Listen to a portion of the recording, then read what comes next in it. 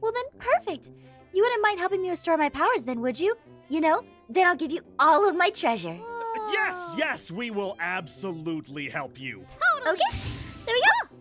Oh, neat. Oh, well, that's convenient. Yeah, you can carry me in this little egg. It makes it easier for me to get around.